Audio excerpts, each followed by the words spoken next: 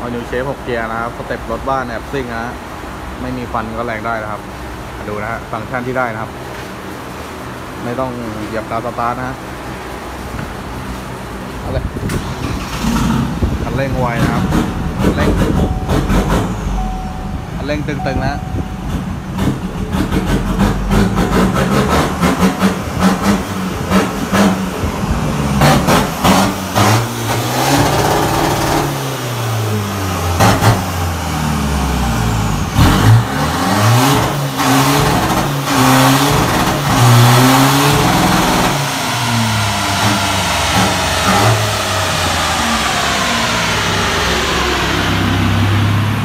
test คร่าวครับยางลูกค้าไม่ค่อยดีนะ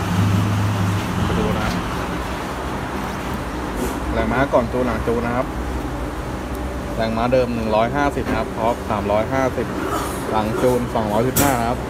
ท็อป470 ก่อนจูนหลังจูนนะครับ แตกต่างชัดเจนนะ remap พร้อม dyno test นะครับจูนตามสั่งนะฮะชอบแบบไหนสั่งได้นะครับ